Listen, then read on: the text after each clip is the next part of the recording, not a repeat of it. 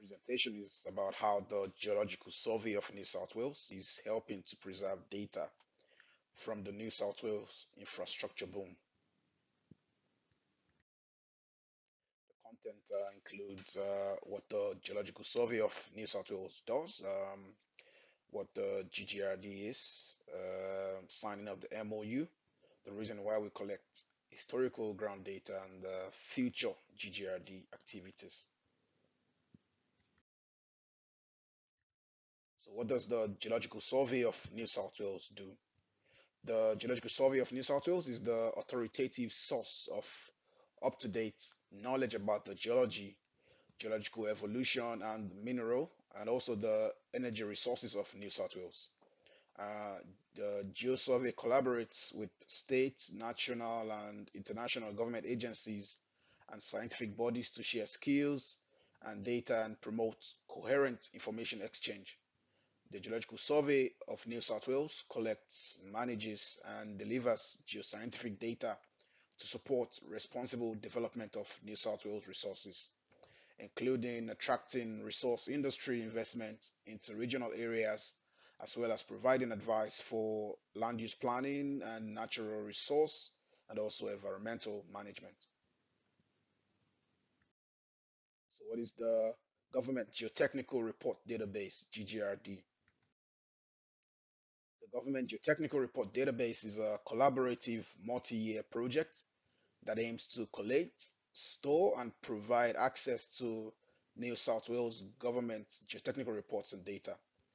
The Geological Survey of New South Wales, uh, being the chair of the Committee for the Coordination of Government Geoscience Programs, CCGGP, is coordinating the collection of these geotechnical reports into a whole of government repository. The reports are digitized, geolocated, and collected in GeoSurvey's DIGS document archive and also discoverable as a geotechnical report view in our MinView web mapping application.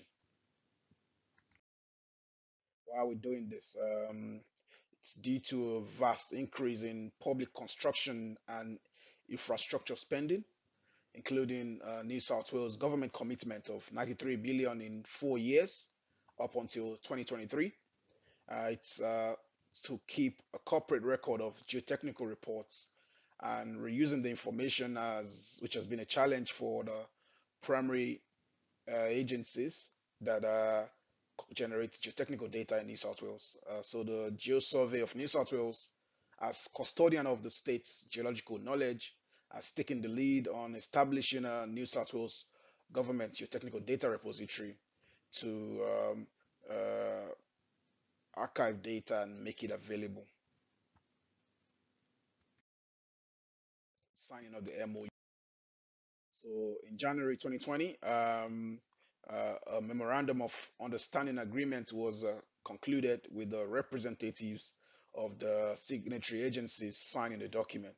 So parties to the MOU include uh, um, DPI, that's the Department of Planning, Industry and Environment, on behalf of the Division of Resources and Geosciences, which is now Mining, Exploration and Geosciences, um, and uh, Public Works Advisory, uh, which is now um, uh, part of the new Department of Regional New South Wales. So Sydney Water was also, also part of DPI uh, when the MOU was signed.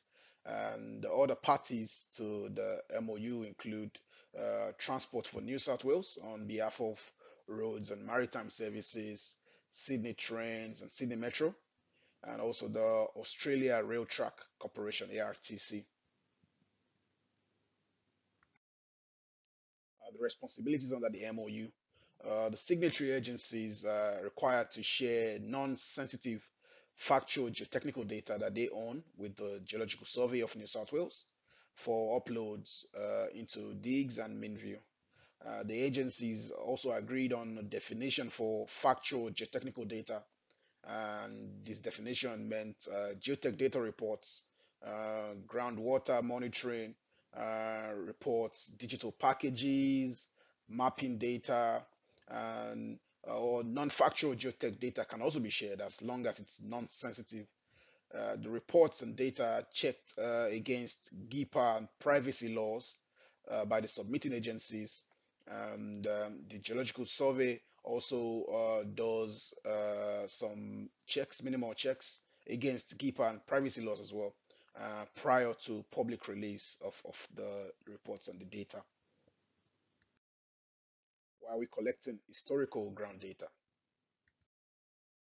Um, the, the, the existing geotech data and help in reducing the scope and risk uh, associated with site investigations. Here you, you, can avoid field work in areas with sufficient information where you have enough information. And you can also identify hazards and gaps uh, in information and you can include uh, you, like you, can define the geological boundaries uh, indication of groundwater levels, the potential contamination. Uh, you can also develop an initial ground model uh, with historical uh, geotechnical data. So there, there is a lot of value on historical ground data. Hence, the reason why we are encouraging submission of historical reports and also uh, submission of uh, reports for ongoing projects. Uh, we, we are looking to implement this by getting the submitting agencies to add clauses to their contracts with contractors that enable public sharing of factual deliverables in accordance with the New South Wales open data policy, which has already been implemented by some of the agencies.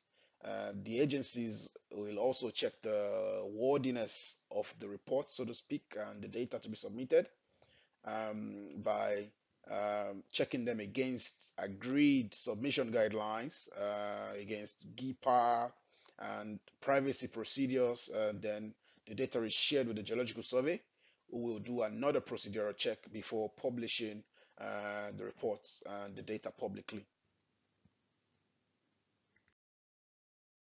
Uh, there are over 3,450 geotechnical reports publicly, publicly available sorry, in MinView and Digs. Um, you can also see links to MinView and Digs uh, in the slide. Uh, feature GGRD activities. So through collaboration with, with the submitting agencies, the Geological Survey of New South Wales is creating a geotechnical model. Uh, that's a 3D geotech model of the Western Sydney Aerotropolis as a proof of concept uh, 3D planning tool, uh, starting with the Aerotropolis Airport Precinct. So the aim of this uh, task is to complement BIM models from the um, uh, New South Wales Spatial Digital Twins. And the long-term aim of this task is to create 3D models of the geology of New South Wales, uh, which is combined with all the mappable subsurface data to help reduce risks in construction projects and uh, map underground utilities, uh, natural hazards, also constraining uh, extraction resources. Uh, yep, we're looking to do all of this as we collect geotech data in a structured geotechnical database. Thank you very much for listening to my presentation. Appreciate it.